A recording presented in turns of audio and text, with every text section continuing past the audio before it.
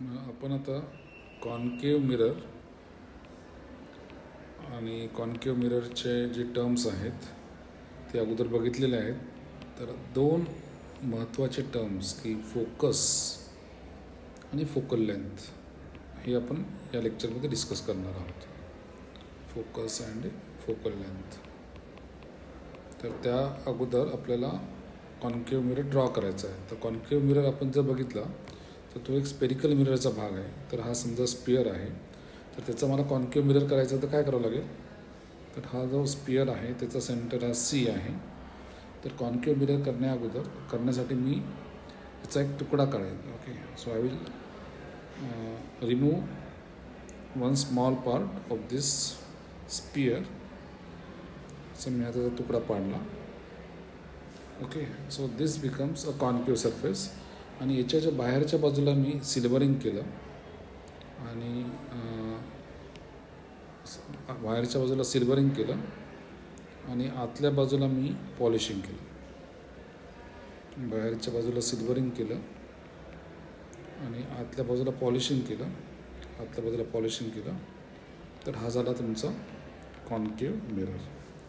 आता कॉन्केव मिररमध्ये आपल्याला माहिती आहे की रिफ्लेक्शन होणार. आता समजूया की लाईट रेज खूप दुरून येत आहेत and they are incident on this mirror so when the light rays are incident on this mirror okay what will happen when they are incident on this mirror they will be reflected so they reflect honar and they will be reflected like this uh, they will be reflected like this okay let me show you the reflection They will be reflected like this. आणि ते असे कसे तरी pass होणार आहेत ना so this is the way the light rays would pass okay तसे समजा इकडनं काही रे आला.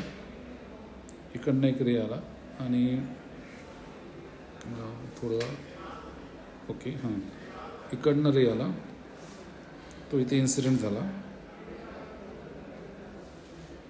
रे आला.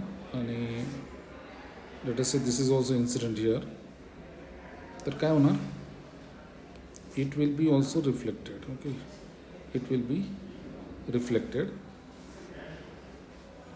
हा झाला तुमचा pole this is the pole this is the pole this is the centre of curvature आणि हा जो हा टोटल झाला आर तर हा जो आहे हा रिफ्लेक्ट होऊन परत आता इकडनं जाणार असा.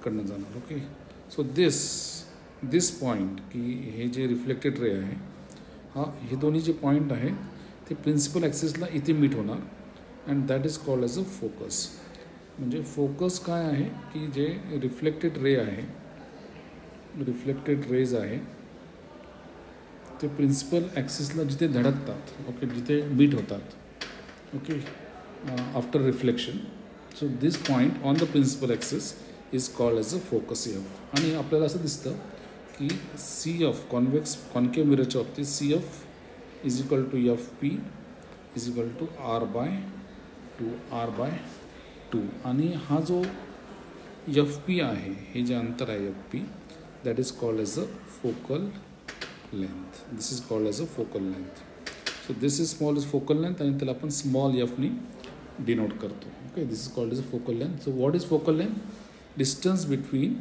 the focus and the pole is called as focal length. Distance between distance between focus f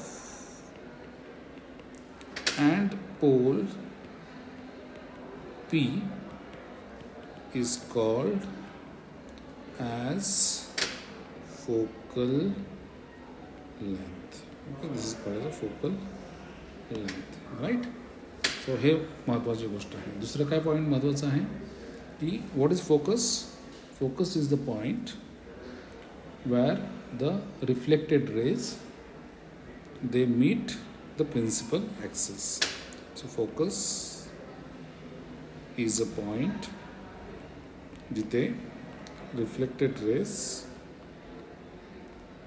reflected rays principal ॲक्सेसला meet होतात मीट द प्रिन्सिपल ॲक्सिस म्हणजे पॉईंट प्रिन्सिपल ॲक्सिस कुठे मीट होतात आपल्या डायग्राममध्ये पॉईंट यफ म्हणजे पॉईंट एफ हा focus झाला. Okay I hope that this is clear to you